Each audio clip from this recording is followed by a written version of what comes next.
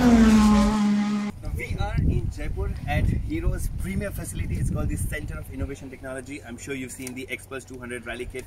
And now we will be talking about three more motorcycles. But then first is this, the Xtreme 160R. Now what all does it get? Let me tell you. Now first of all, the styling. I'm sure everybody and anybody would love the way it looks because I really really like the design uh, the design cues have been taken from the Xtreme 1R that was shown at EICMA. And trust me it looks very nice premium uh, especially when you compare it with the motorcycles that we'll compete with like the Pulsar the Apache the FC Real, this one looks nice and premium. Now what you see here is our LED lights LED indicators. My favorite part also has to be the LED tail lamps. I'm sure you're I'm sure I'm audible that's a very interesting looking uh, rear look at the chisel styling. It looks really really chunky. And I like how the whole design of the seat makes it look as if it's a single seater with a girl but then no it's not. It's a proper comfortable motorcycle. It gets a negative LCD let me show you the features. Yeah side stand neutral engine speed. Now we move to the engine bit. So it gets a 160cc that makes around uh, 15 ps and 40 newton meters of torque. Now these figures are pretty similar to the one that gets in to, to the one that is offered in the apache.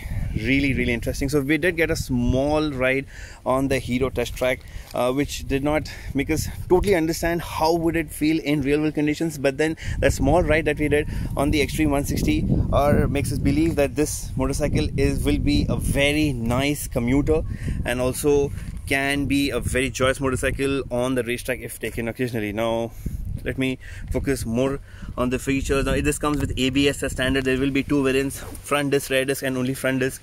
The prices have not been announced.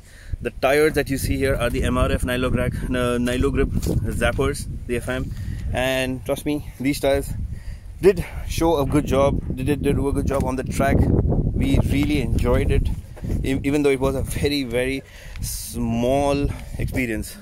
That's the motorcycle and it has a curb weight of 138.5 kg. Uh, again more features if I can talk about.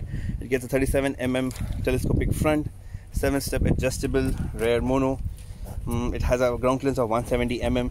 And uh, more if I can say is there are two colors white red.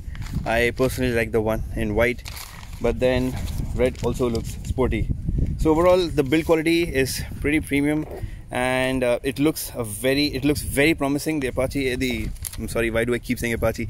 The Xtreme 160R looks a promising offering and this is the first look. We will get the motorcycle to do like a proper review a proper comparison but for now this is the walk around that we can talk about.